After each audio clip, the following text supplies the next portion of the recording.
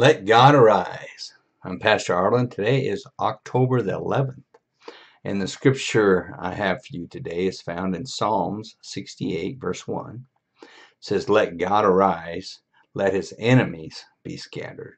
Do you know God has enemies? How about that? Let me ask you today, what are you letting arise in your life? So, in other words, what are you focusing your words, your energy, and all your thoughts on today? And you might say, Oh, Pastor, it's just so hard right now. I lost a lot of money in the stock stock market, or my health just doesn't look good. And uh, somebody walked out on me today, a good friend or whatnot. See, you're focusing on the wrong things. You're letting defeat, discouragement, self pity rise up. Why don't you just turn that around and say, God, I give it to you. Here it is. Hallelujah. I'm going to let my God arise because when I do, I let the enemies be scattered.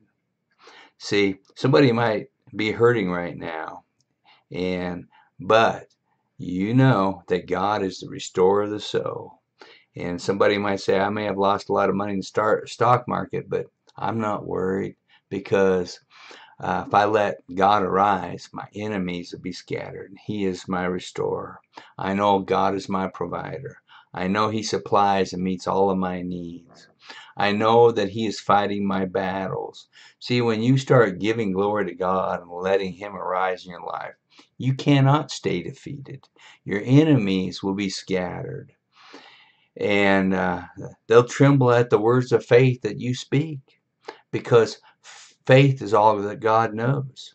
So begin right now declaring God's goodness in your life. Let him arise so that you can move forward into the victory that He has for you.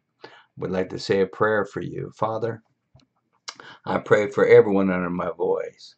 Father, that we repent right now for allowing any negative, self defeating thoughts uh, or attitudes rise up in our life.